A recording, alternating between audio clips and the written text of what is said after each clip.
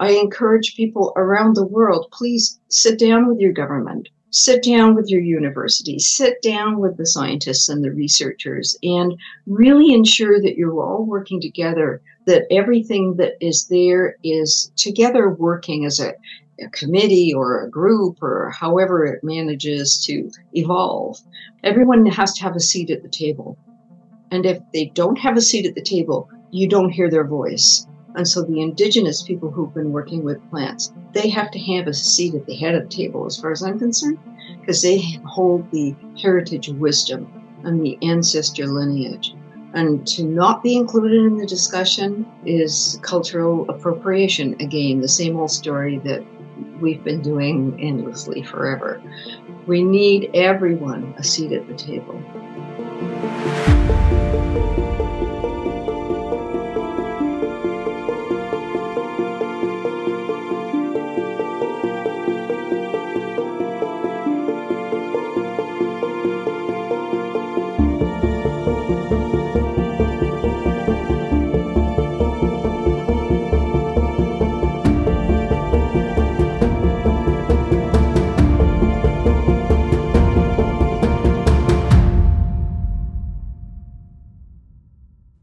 Hi, everyone. Welcome to Psychedelic Conversations. I have a returning guest in the house, Dr. Reverend Dr. Jessica Rochester. Welcome. Thank you for being with us. It's my pleasure. Thank you for inviting me on the show. This is our second meeting. So, this is our second time uh, sharing this space with you. And it's been such a honor and privilege to follow your work. And actually, I got to know you more after we had our conversation. And I recognize the wisdom behind it and the value that you give so much to our, you know, um, upcoming sort of psychedelic leaders in the space. And of course, I have my own few questions that I wanted to dig into today. I think you kind of have an idea what they may be because uh, we've been exchanging a lot of messages recently if that's okay. And of course, I just wanted to say a few lines from your bio for our listeners in case they have only just discovered us and you. And we'll link the first episode in the show notes as well if you wanted to check it out. We had a wonderful conversation not long ago. And so I'm really thrilled to have uh, Dr. Rochester back with us. She is the author of The Ayahuasca Awakening, a guide to self discovery, self mastery, and self care volume one and two. She's an ordained interfaith minister with a doctorate in divinity, a transpersonal counselor and educator. She trained in the work of psychiatrist Roberto Assagioli. Assagioli. Yes. And trained with Stanislav Grof. Again, he's one of our mentors and uh, teachers. And Dr. Rochester is the Madrina or Sur de Montreal. So I'm going to need your assistance in saying these words, please. so you you founded the church Santo Daime in Canada. And yes. how how would I pronounce it? Madrina or It's Madrina. You don't in Portuguese you don't say the H and it's Céu de Céu, Céu de Montreal. Scale Céu means sky. Uh, and it refers to kind of the astral. So uh, and its Santo Daime is a Brazilian tradition that was founded over 100 years ago by a man named Mr. Irineu. And he had he had apprenticed with the ayahuasqueras, uh, the tribal people who used, indigenous people who used ayahuasca. Uh, as perhaps many of your listeners might uh, know, that ayahuasca has a very long tradition in the Amazon basin um, for uh, being used in ritual for initiations, for for community healing and connecting, for uh, divination. The it is said that these the plants would be taken uh, when the tribe really needed to understand how to manage whatever it was that they were facing. Also, for them to learn, they felt that by taking these plants, they would know where the what they were hunting was, where the fish was in the river, and where the creatures were in the woods for them to be able to track and find their food and sustenance. Um, and so it has a, it's millennial, the use of these plants. Uh, they only came into notice uh, through, uh, you know, Master Irineu getting the instructions to to t- use these plants in sacred ritual and, in a way that was community based and not so much the medicinal way that it was also used. We have to uh, acknowledge and respect that part of the indigenous heritage use has been medicinal. That these plants would be mixed with in an admixture with other healing plants uh, to assist with healing or support to um, people in the in the community who who needed it. And so the not the medicinal way okay? And, and, and what master Irineu was shown was only these two plants the leaf of one tree and the vine no admixtures. And he was given by his encounters with the divine feminine he was given the inspiration uh, to begin this little community of people who started singing hymns that he was receiving from the astral. The same way in the indigenous heritage use, they would receive calls. And they would receive these what they what are called calls or pontos. They would be calls that they would have for to acknowledge certain beings and and certain astral um, dimensions let's call them. And so that tradition passed straight into the santo daime and now they became hymns hymns praising the beings of the astrals and and and then prayers work their, their way in. It's a very eclectic practice. Um, i brought it back in 1996 from the um, from a center in the amazon and founded the church and uh, officially opened it spiritually in 1997 and then i was in my apprentice for 14 years from 1996 until the year uh, 2010 when we became independent. I worked with the Canadian government until 2017 to receive the legalization permission, the, the import permission to be able to import and the uh, ability to store and serve our sacrament in our rituals only. So no one should think that ayahuasca is legal in Canada, that anyone can order it and bring it in and use it. No, no, no, no. It, you, it's like a driver's license. This is how I explain it to everybody in the hopes that they understand it. The same way you have to have a driver's license to drive the car. Okay, you have to have you have to have the an, a Section 56 exemption to be able to um, you know, or let's another example would be a bar license that a restaurant has to have a bar license or you know some kind of organization has a bar or hotel or what have you to be able to serve alcohol. If they don't have that license they can't serve alcohol you know?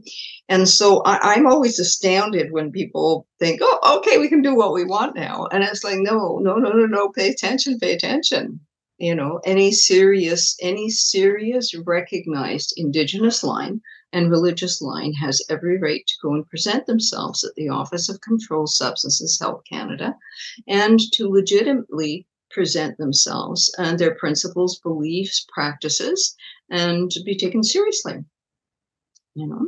Yeah. That's wonderful. So, Thank you so much for giving us the overview of uh, Santo Daime and its roots and a clear picture of uh, what is it that we need to really learn and acknowledge about these medicines. So in Canada and um, I'm guessing in US, there's different locations where santo Daime they can find.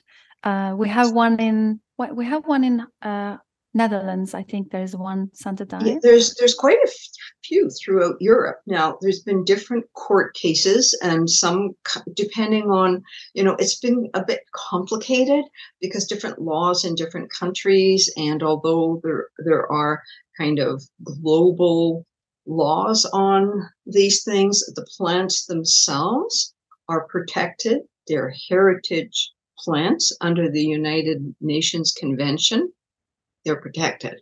However, once you take the plants and convert them into something that you are going to then ingest, then you need permission.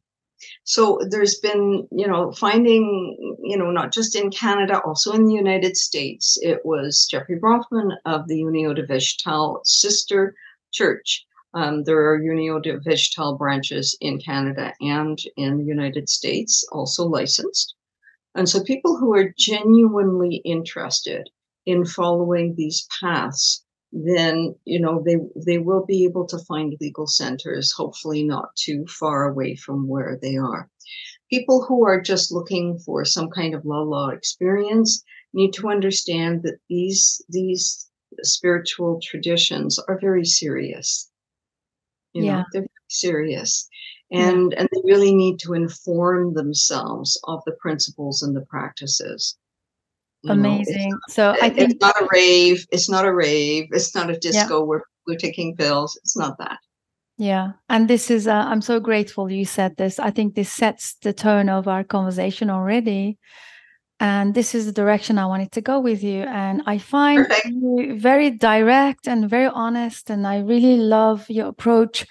the the the level of also um humbleness is just remarkable. So Oh, please, well. please, please tell us. Yeah, please. Thank you. Um, I can I can bow to all my teachers. Uh, you know, Jack Kornfield, um, a great teacher, a great teacher, and many of the madrinas and padrinas in, in the Santo Daime who have been my mentors and and my teachers. Uh, Stanislav Grof, of course.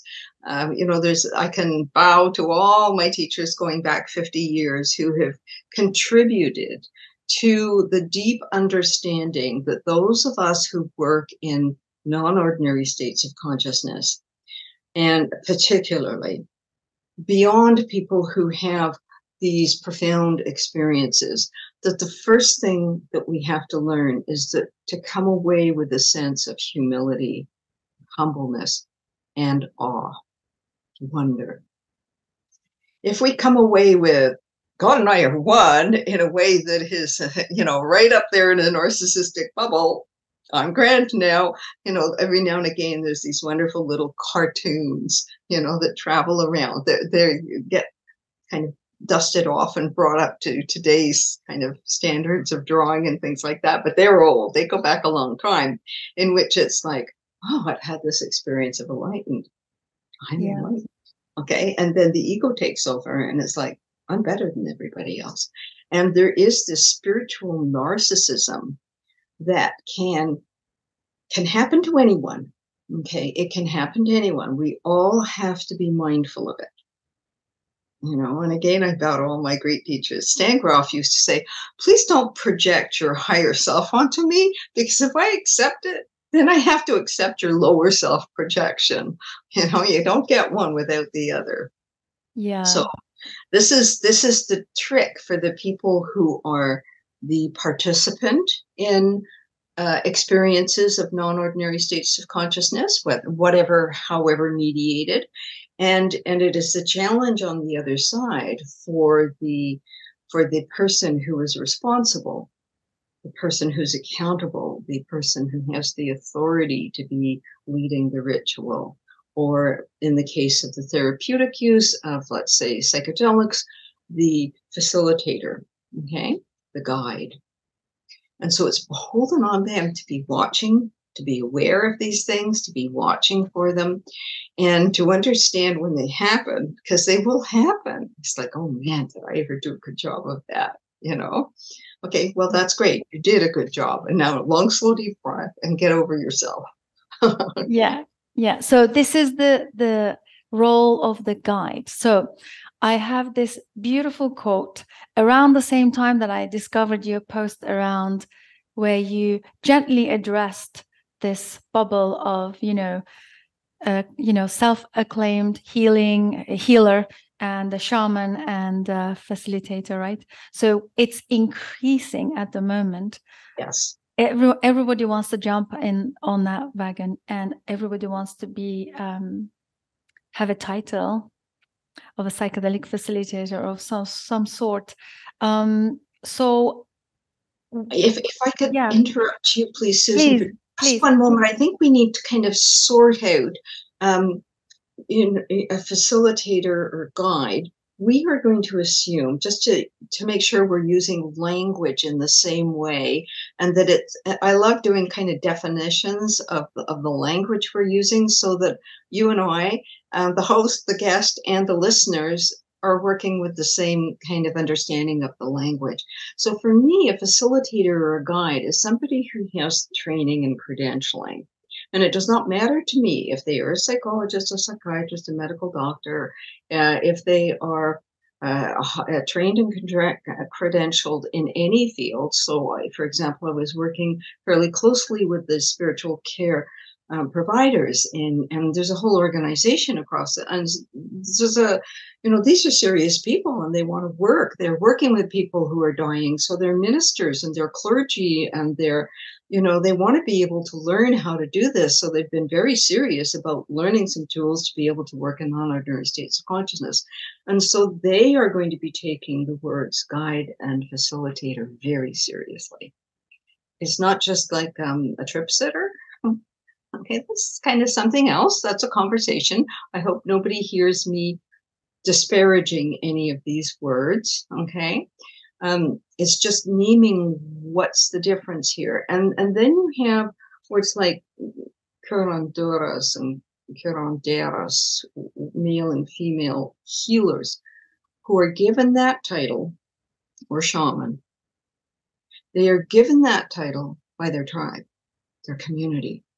It's not a self acclaimed thing. They are apprenticed often from the time they're a child. The elders, shamans, uh, curanderas will be looking at who has the skills in the children. Ah, that one's going to be a warrior. Ah, that one's going to be a carver. That one will be leading the songs. Okay. This one, hmm, looks like they're already going after and opening and studying and wanting to learn the plants and wanting to learn the chants and the calls and you know and so they watch to see the gifts the strengths the you know, the talents, the call, the mission that comes emerging in the children. And then they gently start apprenticing them in whatever calling it looks and strength that they have. Now, that's vastly different. And so it's the tribe that announces them as shaman when they are, and there will be a ritual around that, not vastly different from a graduation ceremony where you're handed your you know, your university degree and everybody applauds and, you know, and or you know your acceptance into a certain you know what have you association or what have you. And so there's these rituals that mark the completion of or the stages of. We can use some of the eastern like uh, the eastern uh, traditions eh, of, of martial arts is they have belts you know, um, I, I don't want to name them because I'll probably mess them up, but I think like the brown belt and the black belt are the highest, maybe the white and the yellow or the green or the beginners. Okay. But each time the you know the the tai chi master or the you know taekwondo master watches the students to see who's ready for the next belt yeah. You know, who's paying attention and they've learned the moves and they're understanding the breathing and they're getting it. And okay, now you're ready for your next belt. And so there's this apprenticeship in so many areas in life. You know, flying a plane. Okay, you pass, get your pilot's license, but to get there, you know, you have to start way off. You start with a two-seater Cessna, and only when when the instructor says, "Okay, I think you're ready for solo." Yeah, you know, this, is, so, this is wonderful. I love this analogy, and it's, it applies to everything. It's not yes, just everything in life. Mm-hmm. So Absolutely everything in life it applies to. Yeah, it's about learning to be apprentice. Yes, and willing to be in that lineage of, of right in the study. it doesn't matter what it, it, There's this wonderful story. Oh, I may not remember his name. World famous celloist, and he was eh, elderly. If he's still alive, I'm not sure.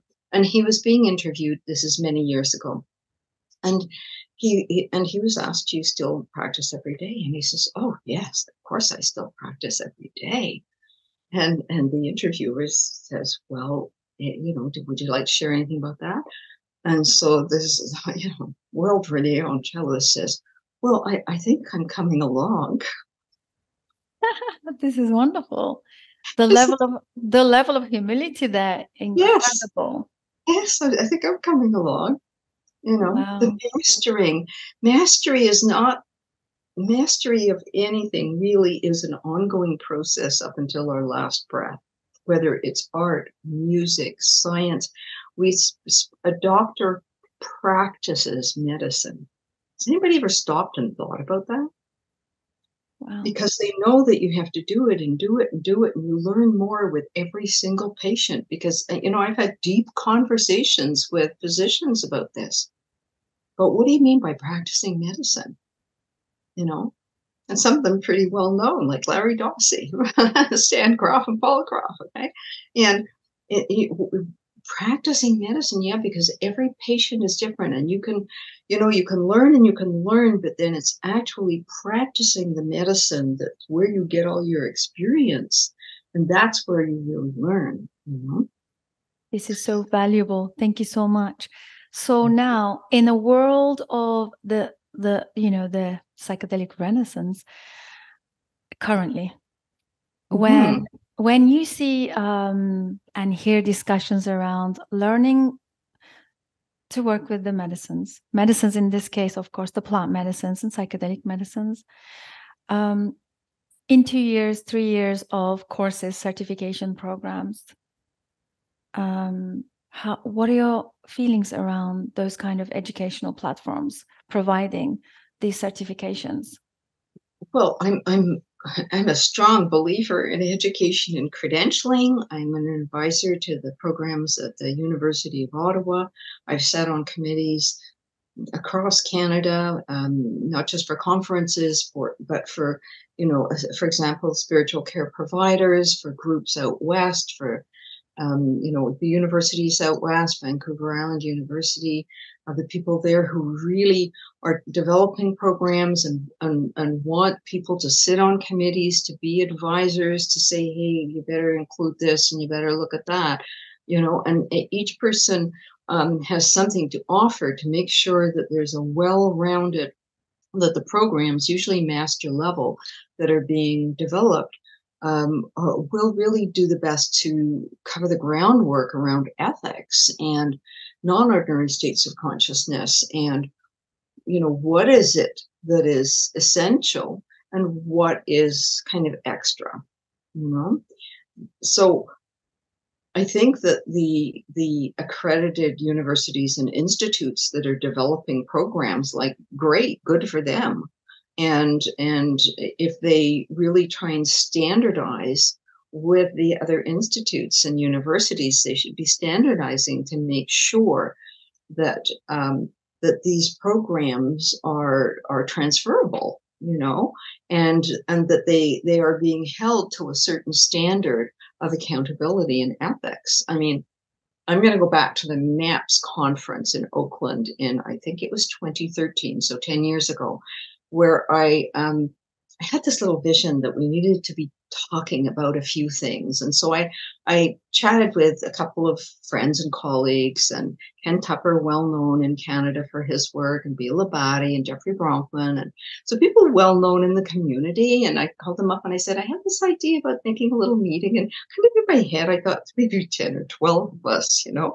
sitting around, I don't know, a dining room table in one of the restaurants in the in the in the uh, hotel where the conference was. And, and they went, yeah, yeah, good idea. Okay, yeah, these things we can talk about them. Yeah, go for it. You know, start setting it up. And then the next thing we knew, we had like a ton of people interested in in participating. And so we decided we better we caught the last room that would only hold. The hotel says that only holds holds 45 people. Okay, well, that room was filled out the people standing around the edges and at the door. And we had to make a meeting the next day um, to for all the people who heard about it and said, oh, I would have signed up for that. So there's about hundred people who really want to talk about legalization, ethics, accountability, and training. And here I was standing up saying to all these people, guys, you can't just start calling yourself a shaman unless you've done your apprenticeship and, and unless the people you are apprenticing with so give you permission to do so. So all you folks who are setting up these kind of um, I know uh, I started referring them as hybrid circles, hybrid circles, okay, because they're They're not the religious lines. They're not the sh- the heritage indigenous shamanic lines. They're kind of circles that are using either our sacred plants or other other um, sacred plants and or psychedelics. Okay, and and I was speaking mainly to them, saying, guys, you know, you need to organize, get yourselves together. You need to look at your credentialing. You need to be, ta- are you going to be taken seriously? Because your governments will not take you seriously. If you want to be taken seriously by your governments, then you, you, need to look at these pieces. Okay. And it was taken very seriously, you know, by the people who were there, which was grand. And, um, you know, out of it, I, I, encouraged everybody. Some people came up to me afterwards. Brian Rush, Dr. Brian Rush, uh, you know, senior scientist at CAMH here in, in Toronto, in Canada, and said, you know, like, what should I do? And I said, do research, do research. And out of that, there was a bunch of researchers from all around, and they just started, and this is so essential. So, you know, I, have got this little broken record that's been going on for a long time now, which is do research, support the scientists, participate in their research if you can. Almost every serious researcher that's contacted us, I've asked our church, can we please, you know, these are serious people. Can we please support the, the science and the research? And so it's on the one hand supporting the science and the research. On the other hand, it's supporting the educational institutes who let's hope they get it right. You know, we want them, let's get it right this time. Okay. And in standardizing and making these courses available to people. And, and then you have the people who think they don't need any training and they don't need any supervising, which is fine if they have the, you know, uh, kind of the um, acknowledgement, acceptance, and uh, credentialing. Let's keep using these words um, because we all understand what they mean. Um, uh, to grandfather in. Now, shall I define grandfathering? Would that be helpful? Yes, please. Yeah. Okay. So, what grandfathering is, is grandfathering means you've already been doing this for many, many years. Okay. And so the fact that you already have, like, for example, there's certain people who have who have all the academic credentials who got involved in working with sacred plants okay? And and then you know wanted to bring and work with. So people like that would get grandfathered in because they have so much training and so much experience and if they've been taking people down to brazil or peru or what have you and and working with local people and all of that is kind of in place all of that kind of heritage credentialing you know then they would be grandfathered in. They would not have to go back to school to get a two-year degree. Do you understand? So you know, uh, these are deep conversations that I had with the Office of Controlled Substances. We had many meetings after we published um, Entheogens and Psychedelics in Canada proposal for a new paradigm. Um, and as soon as we published, I made a meeting with the Office of Controlled Substance Director and the science manager and, you know, some of the other people there, uh, policy manager, the people through 20 three years of working with the office. You get to know the who's who's doing what in the office you know? And so as a committee we presented our findings and our recommendations and our concerns about risks and benefits. And so this is, has been an ongoing conversation. And i encourage people around the world please sit down with your government. Sit down with your university, sit down with the scientists and the researchers, and really ensure that you're all working together that that everything that is there is is speaking is together working as a, a committee or a group or however it manages to evolve. But you need to include all the all the players. They everyone has to have a seat at the table. And if they don't have a seat at the table you don't hear their voice. And so the indigenous people who've been working with plants they have to have a seat at the head of the table as far as i'm concerned because they hold the heritage wisdom and the ancestor lineage.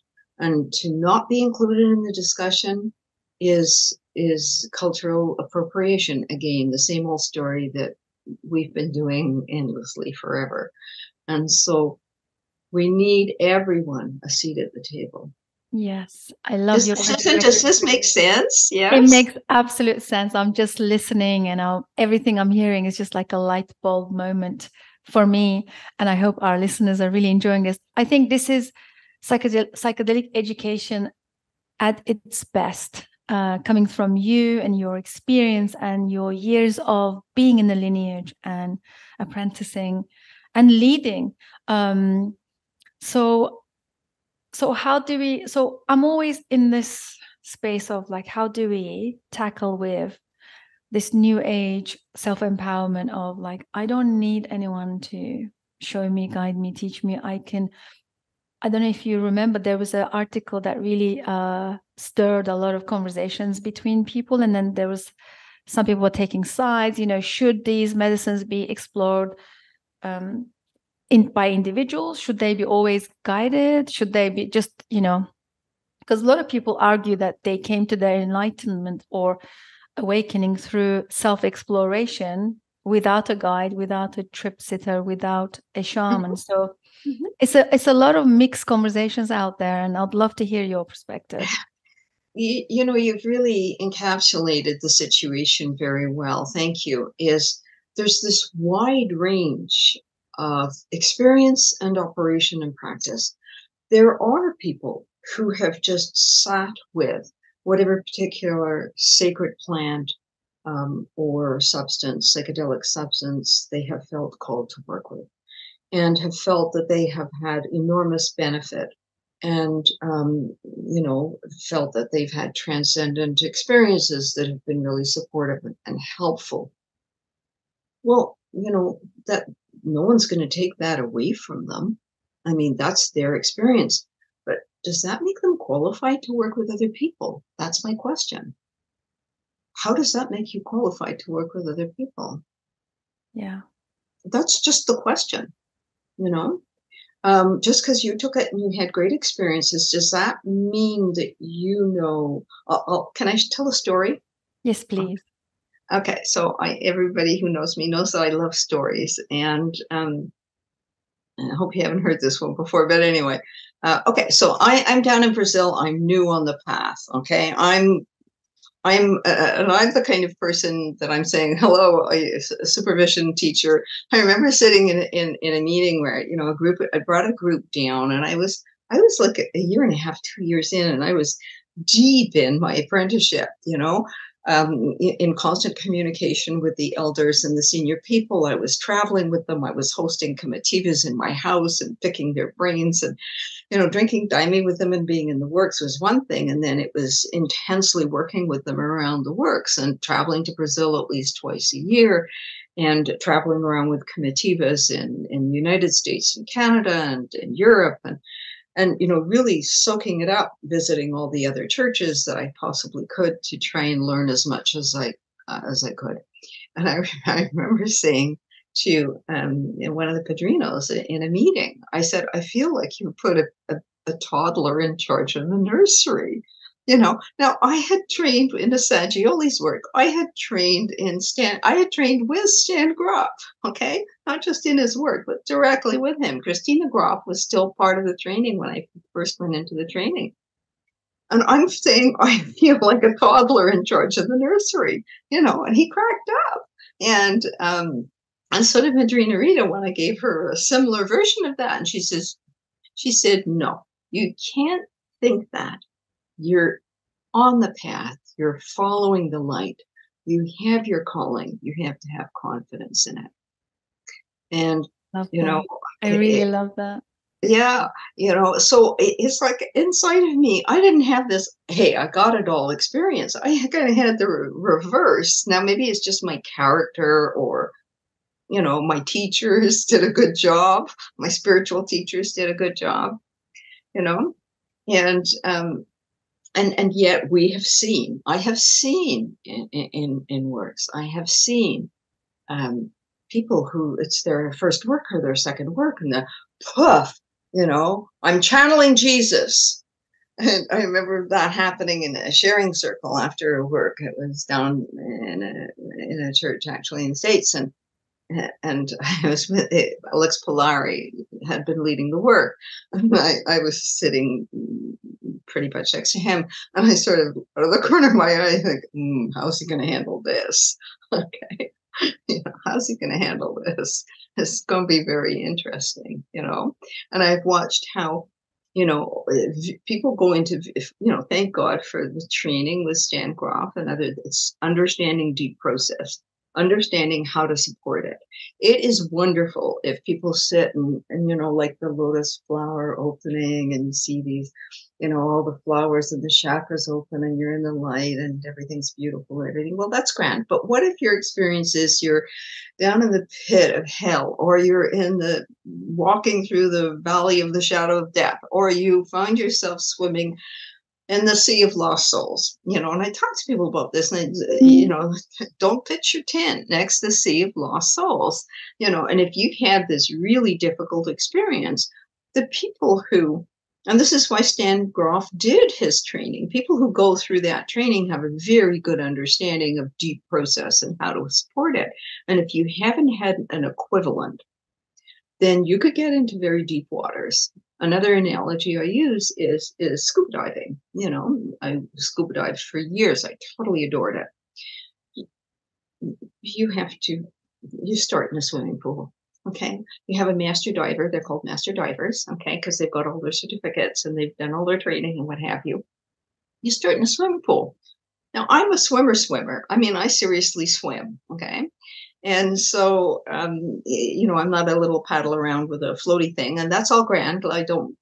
It's just I'm just saying my level of seriousness. Okay, and and so I, am learning to scuba dive in a pool, and they put they put brown paper in your goggles for for one of, for one of the sessions, so you can't see because they say you know it could happen. You could be scuba diving, and a current could come up, and it could stir up all the sand or the mud or whatever it is, and you're going to have to be, feel confident to go by feel okay, and to find your way, you know, by looking at your compass as best as you can see it, you're going to have to find your way. And so this all happens in a swimming pool, basically, with two lifeguards, never mind the master divers, with lifeguards standing there to make sure if anyone gets into a panic attack or something that they get out of the water quick and handle it. And then you do an open dive that's only it's, you do not go lower than 30 feet because that's your first atmosphere, right? Underwater. You lower than 30 feet. So by grades, you work your way up to the most difficult dive I did was a cave entry at 140 feet. It was spectacular, just off the coast of Cozumel. And I got great diving stories for another time over a cup of tea when we're not being recorded. so, um, this is how you learn how to scuba dive, you know? And so, uh, oh, how do people think that they can actually take people? Would, would, would you know, would you would you go down just because I had marvelous experiences? I never thought that I could take people scuba diving. That wouldn't have occurred to me. Yeah. Just because yeah. I like flying in a plane, that I can fly the plane. yeah. You know. And this is happening. Yeah, this is happening in the psychedelic. This is happening. Yeah. This is happening. And and where will it lead to? Well, you know what?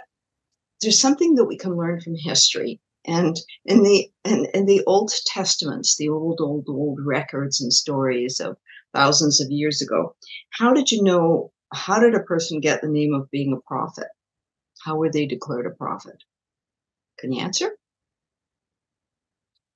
Uh, no, but I do have one suspicion. Okay. That, that um, I can go with one particular. Um, there's a recollection of of his uh, life that he used to go and meditate a lot in a cave. Mm-hmm. So actually, how you were considered to be a prophet was because what you divined actually came to pass.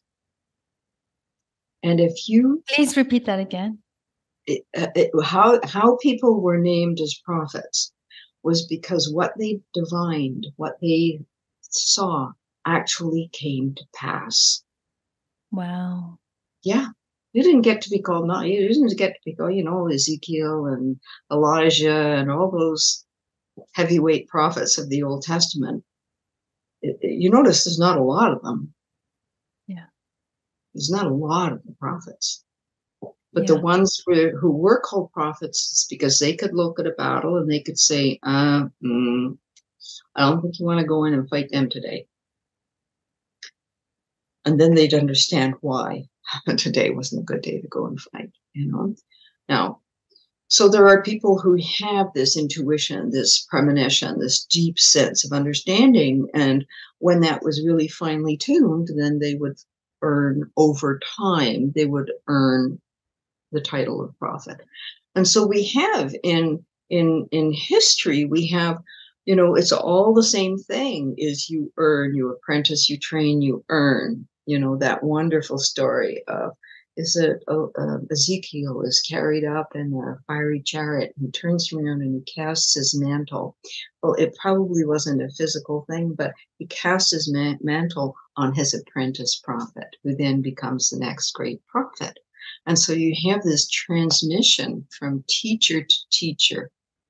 Yeah. Okay. The things that I have received that have been transmitted to me by my teachers, that have been transmitted to me by the Daime, who was the teacher of all teachers, okay, the plants themselves. But we need both. I in my books, I especially in volume one, I go very deeply into this conversation about the need for teachers and why we need teachers and, and even how to recognize a good teacher and what to go and run away from. You know, we can cover a few of that if you're interested.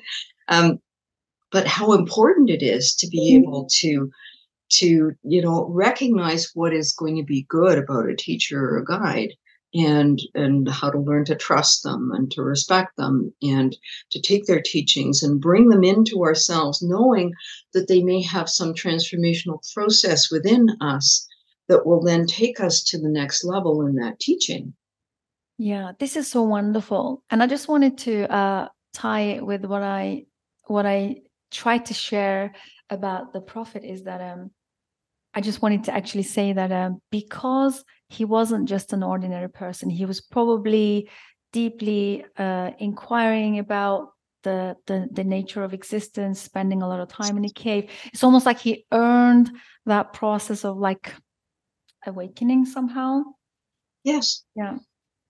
And he probably you know a lot of things are are are left out of the stories for whatever reason. That's a whole other conversation you know but a lot of things are left out of the stories that are gathered together into various books um, for whatever reason okay? But there's incredible stories about you know i i- i've just you know shared one of the mantle passing to another but this this is what happens is they go off and they train with masters and they come back.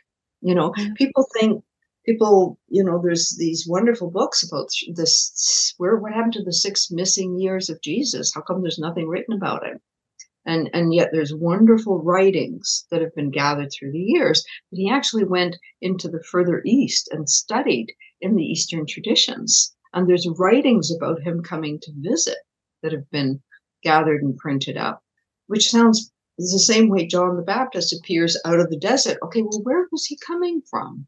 Why don't they talk about that? Who did he train with, and what did he do that brought him back to his his tribal homeland and and want to bring these teachings? Okay, and so we can see that you know they don't just fall from the sky. And yes, there are people who do have profound experiences and get a profound vision of something and without any more to do, um, just you know, go out and do it.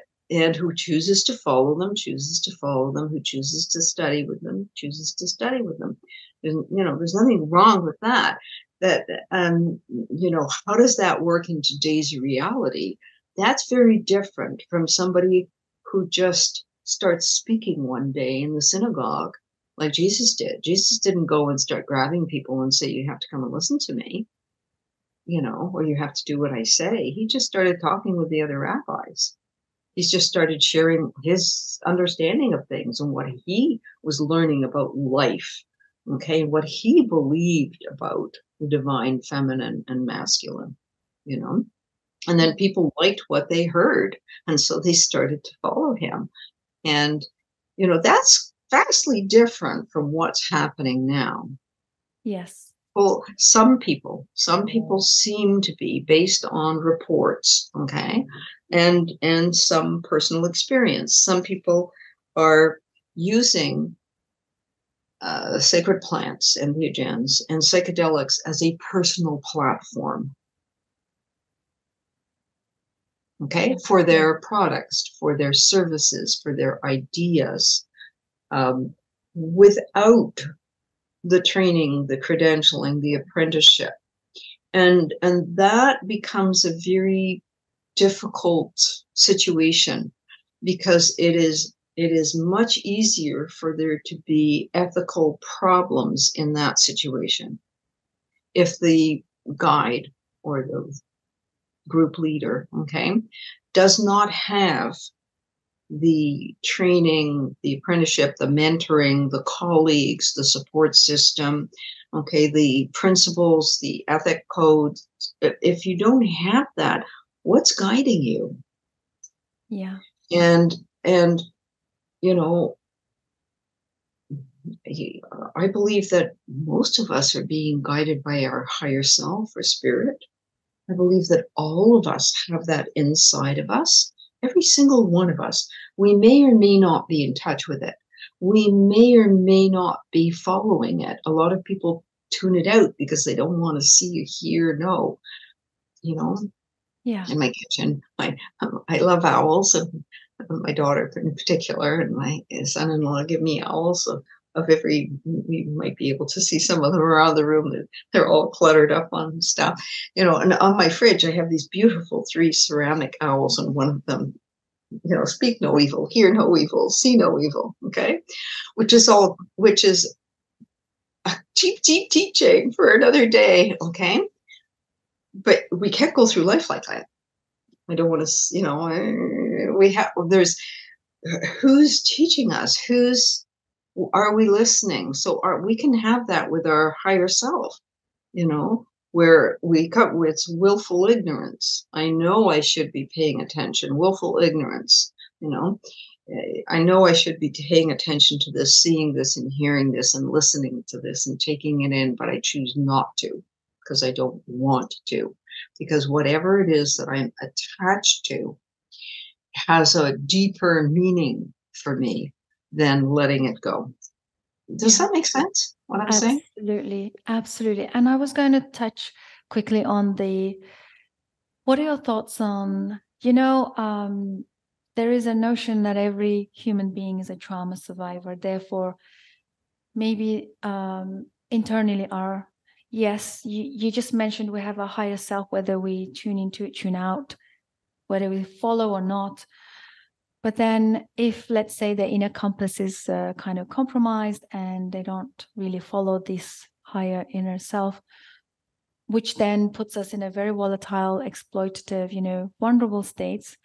Um, which I want to bring it back to a lot of the people when I stress a lot about the mentorship, having someone to keep us accountable, oversee everything, and and also be someone that's all, a few steps ahead of us even just to they know this the space the process and the whole thing.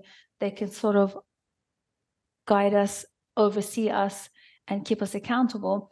This has caused a lot of controversy because uh, at the moment it's all about the individualistic self-empowerment that we're all divine that we're all have this power to lead ourselves. And if it's if it's uh, if it's left in the hands of another it's just another way of suppressing or you know like the historical negative thing that's just been played out a lot. I'm sure you've seen it. Yeah.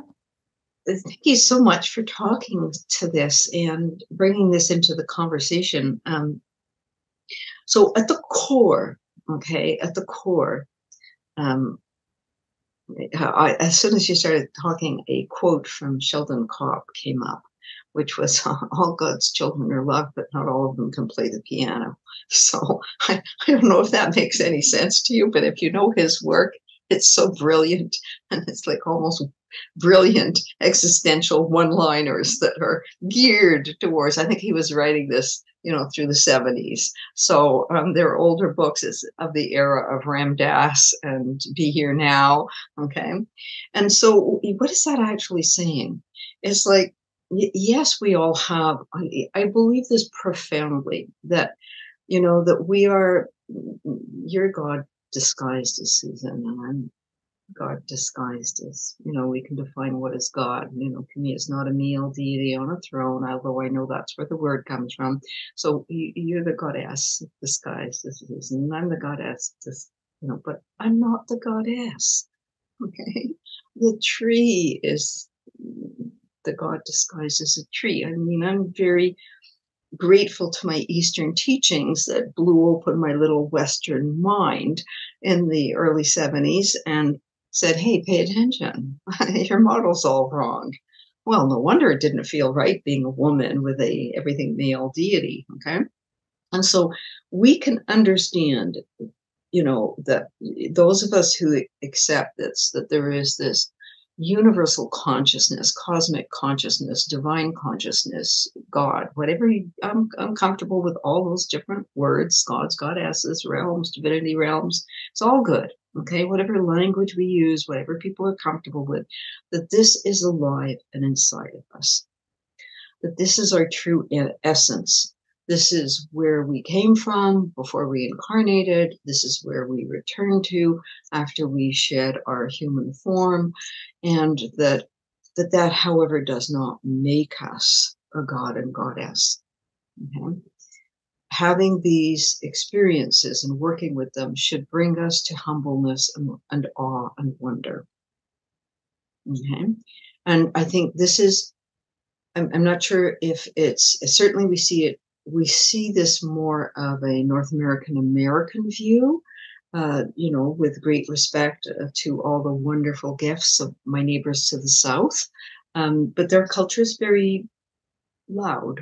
They have a loud voice. It's like the djembe drum. okay, it's got a loud voice in culture, and um, and I'm not sure how, around the world what other people think about these things that we're seeing, but it seems as if this is kind of a current cultural attitude of um, this identification of a I don't need, I'm empowered myself. And yeah, but isn't that confusing? Some things. Does empowerment mean that I'm therefore qualified to do things with other people. We're back to that again. Okay. That yes, we want people to feel authentic and real. I mean, I had private practice for 40 years and you know that was a big chunk of my work was helping people grieve block grief being the main source for depression and anxiety right helping people grieve helping helping people access their authentic self helping people you know, find their own inner wisdom and access in whatever way felt comfortable for them a, a, connection with their higher self. Could be through nature, could be through music, could be through movement, art, doesn't matter, prayer, meditation. We can all access that in our own way. And again, that doesn't make us qualified to do anything with other people. That's where it gets confused, you know? And I'm not sure, I'm not sure where that went off the track. I've always said to people, I'm not new age. People try and call me new age. I'm not new age, I'm transpersonal. And for me, the maps are very different.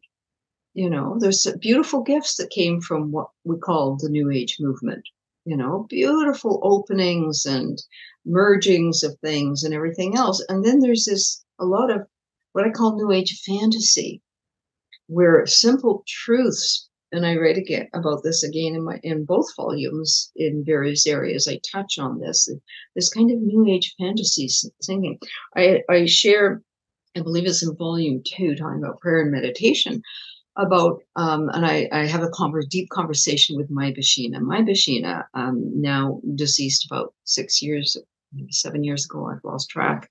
She was my main teacher for mediumship, the style of mediumship that we work with in our church and um, a very important teacher for me. And she still assists us from up in the astral.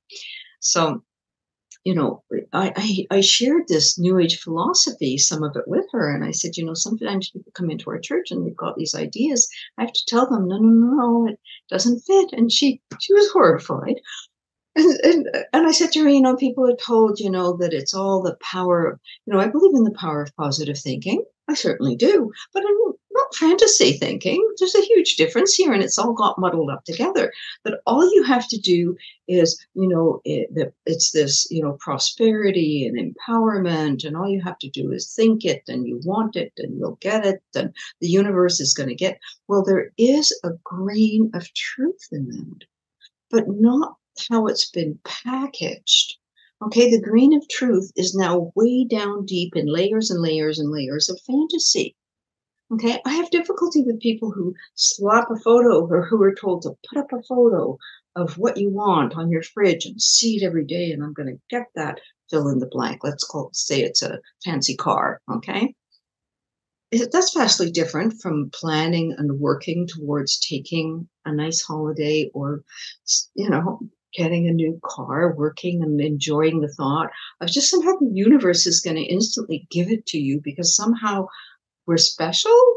I don't know how that got into the educational system in the United States somewhere, but you're special and you're unique. Well, yeah, once again, there's a grain of truth in that. We are each uniquely ourselves. We have something special about us, but that doesn't make us special. You know, how did that go off track so badly? And what I want to say to these people is how does this prosperity, fantasy, new age thing that you've got going on for you, how does that work for the people who have no food, no water, no safety, no shelter, the people who have no medicine, the people who have bombs dropping on them? I mean, people who've just gone through a hurricane, a tsunami, uh, fill in the blank. What are they going to do? They're going to draw a picture of water and slap it on what? The wind? And say, well, the universe will give it to me because I'm special? Okay, so this whole thing falls apart for me in two seconds. I have never been able to support this kind of new age fantasy of I'm special, therefore I don't need teachers. I'm special. I have these experiences and the spirit's teaching me this. It's like, okay, then if you, if for people who don't want, you know, a mentor or teacher because they feel they don't need, well, how about a group of colleagues who have, who have, you know, so it's a colleague circle if people are but isn't that kind of childish? I'm sorry, Susan. This is going to sound very judgmental, but I find it all very t- kind of teenage. You know, I've raised children, I've got grandchildren who are just tiptoeing into the teenage years now, so watch out, you know. But isn't that kind of teenage energy?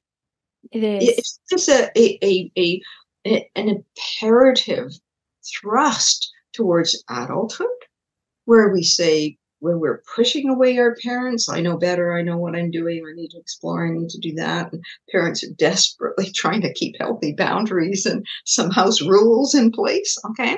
Because that's how it sounds. It sounds like teenagers. It sounds like something 14 year olds would do. You know, I can go out the back of the high school and smoke cigarettes. You can't tell me what to do.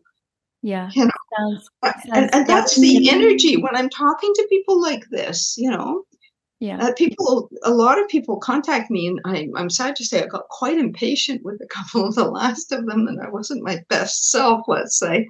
But i got quite cranky with some people because it's like you know first of all they expect me to just tell them how to get an exemption or give them a copy i've been asked people have asked me i should give them a copy of our application well i'm sorry all i can do is laugh at that because this is not happening you know Wow. It's like saying, Can I have your driver's license? It's like, no, you actually have to go and earn that. You have to prove that you have what is needed to to let the Office of Controlled Substances know that you will be capable of, of for the they have to do this for the health and safety of the Canadian population. That's why the OCS Office of Controlled Substances is under Health Canada it's the health and safety of the people that you will be working with. Hey, you would just want to go out and, and, and take a substance by yourself and put on some music or sit down in nature or meditate or pray or something. Well, okay, you know, right now the OCS and Health Canada sort of do this for very tiny amounts. They're not going to arrest or prosecute or anything like that. But once you start serving people, that's a whole other whole other category of stuff. So, you know, with all due respect to everybody who has possibly really good intentions and genuinely wants to help. Yes. I have two words to say to you wake up. Yeah. And wake up.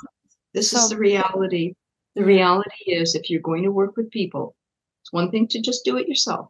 But if you are going to serve people, you are fully accountable. Every time I serve Daime, I am accountable. And every time there's a part of me thinking, ah, really? I'm still doing this. Yeah. You know, it's a lot of responsibility. It's huge. a lot of responsibility. Yeah.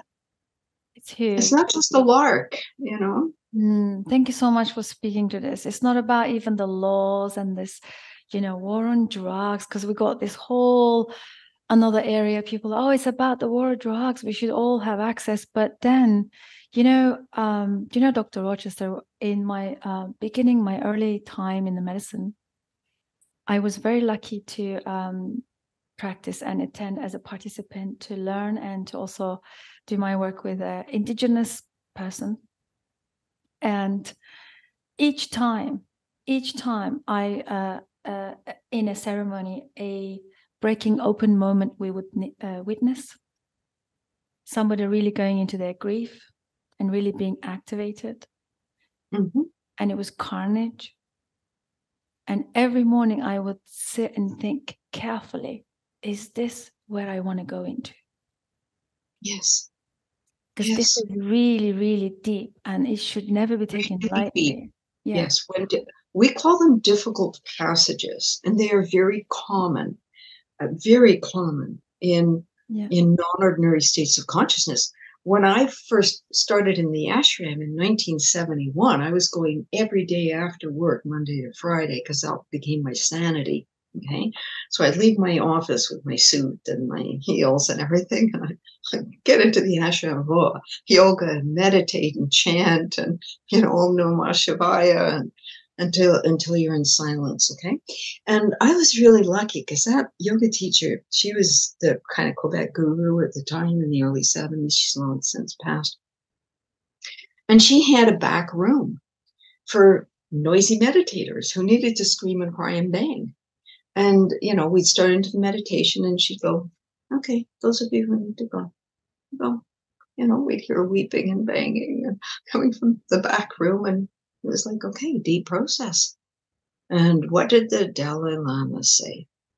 He said, if you have not grieved your life, you have not begun to meditate.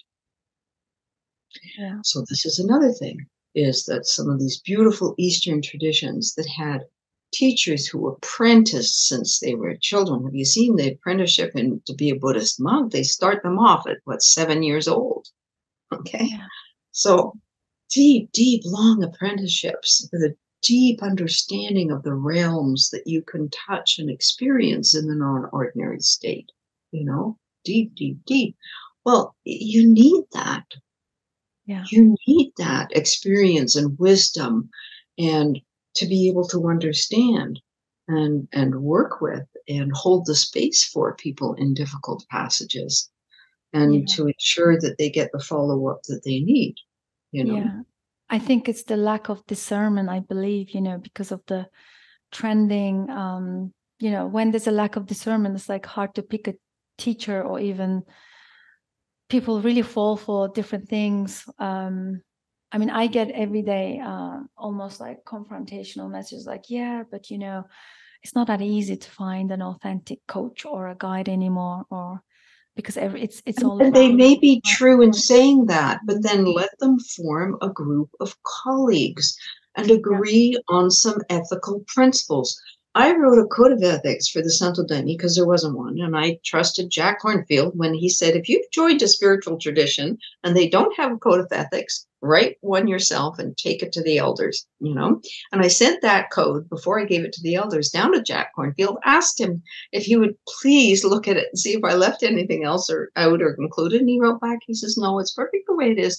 You're doing a great gift for the Santo Daime. It's up on our website and it says very clearly, you are welcome please take this code of ethics into your own. You know, it took years before some other churches would adopt it. There's still some who don't. That's for them to decide. But the very least is if if somebody is truly operating from a place of feeling called and well intentions, the very least they can do if they cannot get the kind of supervision, mentoring, and guiding that they are hoping to get, okay, then they must form at least a couple of three or four colleagues, okay, who are working in the line and who you can you can establish together okay let's choose a code of ethics that we want to work with together that we will support each other with that we will become a little support circle for each other of peers so a peer support group and this is the very least you know if people feel like oh i don't want a teacher i don't need a guide or even i can't find one well, you know what? Mm, I have a hard time with I can't find one. Okay, so maybe you can't find a, you know, if you're working with MDMA, then you know there's lots of people who've done the research in the science. There's lots of people who you can say, "Do you mind? You know, can you point to somebody who's been working in it who can help mentor me in this?" Okay, if you're working with, you know, whatever it is that people are working with, there are people who've been working with it working with LSD, go read Stan Grof's work. What would he have to say about this? Guess what? He worked with a team. So you can actually there have you asked? Would be my have you asked? Have you asked anybody? Have you gone to your local university and find out is there anybody working in this university in non-ordinary states of consciousness and consciousness? And you may find that yes, there's a whole bunch of people either in anthropology or uh, Department of Religions, anthropology, you're going to find people who are going to say, "Sure, I'm that I'm I'm willing to spend a little time with you, or sit on a committee, or find a master's or a better a doctoral or postdoctoral student who's in in that field." You know, who says, "Yes, actually, I've read a lot about that, and I'm very willing to be a soundboard for you." You know, so one of my concerns is these people don't ask. Now, I don't know why. Is it lazy? Is it scared? Is it scared that they're going to be told you don't know what you're doing?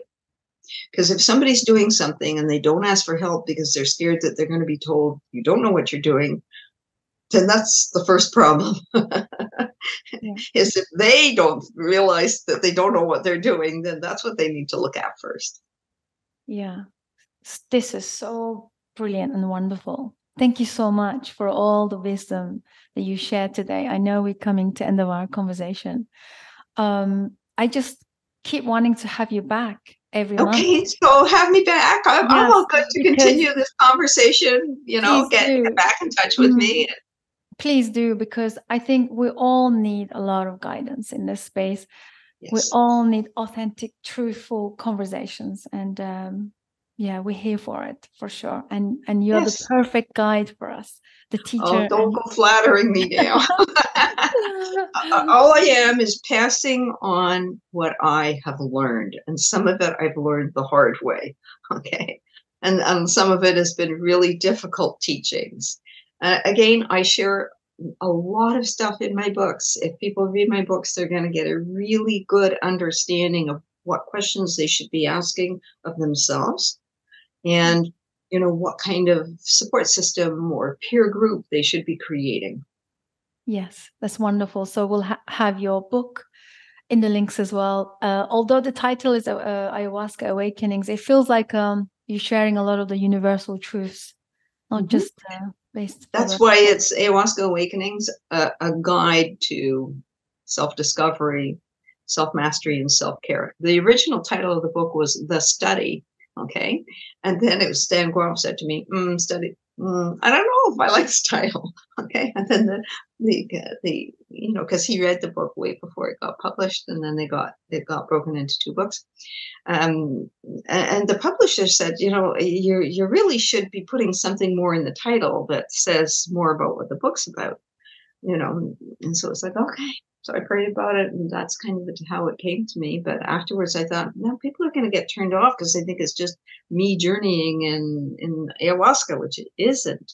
You know, it's all the teachings I've gathered up, what I've learned in um, 27 years of drinking and serving, and you know 50 years on my own spiritual path more than 50 years on my own spiritual path i put everything i've learned in those two books and i'm still learning. Uh, actually i haven't put everything i've learned at my next book i would like to be about mediumship because that's a whole deep conversation because a lot of things that get awoken inside of people is mediumship. And i think what we're seeing part of what we're seeing people who are self declaring as shamans or mediums or healers is all wrapped up in, in mediumship that's being awoken, connections that are being made, and them not having the framework to work within.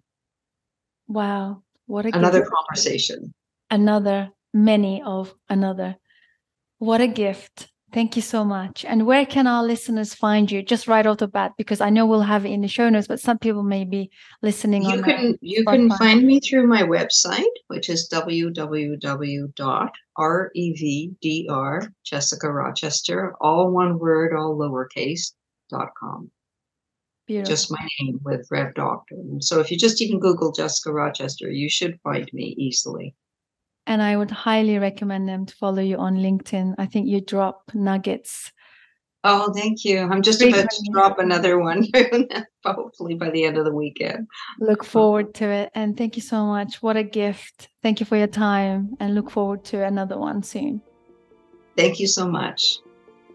Thank you everyone for joining us. Hope you guys enjoyed this session. And if you have any questions, please do share drop a comment below. Don't be shy. And you can get in touch with Dr.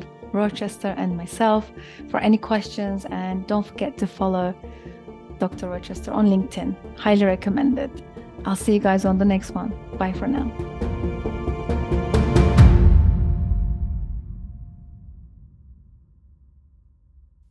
Thank you so much for joining us. Psychedelic Conversations podcast is designed to educate, inform, and expand awareness. For more information, please head over to psychedelicconversations.com. You can also share with your friends or leave a review so that we can reach more people. You can also join us in our private Facebook group to keep the conversation going.